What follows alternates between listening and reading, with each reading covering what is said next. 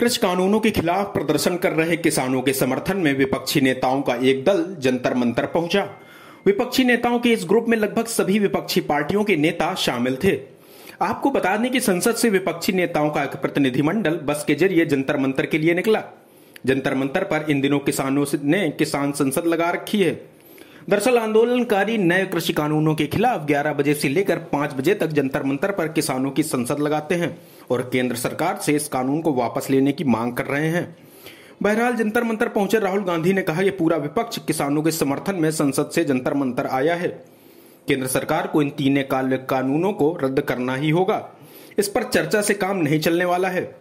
राहुल गांधी ने कहा कि संसद में क्या हो रहा है, ये आप जानते हैं। संसद में हम पेगासस पर चर्चा करना चाहते हैं, लेकिन इस पर बहस नहीं हो रही है। राहुल ने कहा कि नरेंद्र मोदी ने देश के सभी को फ़ोन में पेगासस भर दिया है। बता दें कि विपक्ष के इस प्रदर्शन में ममता बनर्जी की तृणमूल कांग्रेस, मायावती की बीएसपी और दिल्ली के सीएम अरविंद केजरीवाल की आम आदमी पार्टी शामिल नहीं हुई।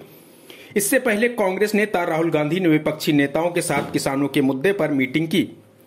कांग्रेस ने कहा कि देश में लोकतंत्र को बचाने के लिए विपक्षी दलों की एकजुटता ज़रूरी है। राहुल गांधी ने सभी विपक्षी पार्टियों के वरिष्ठ नेताओं के साथ किसान बेरोजगारी जैसे ज्वलंत मुद्दों पर चर्चा की। विपक्षी दलों के इस प्रदर्शन में Congress DMK NCP, Shiv Sena, Samajwadi Party, RJD समेत वाम दलों के नेता शामिल रहे।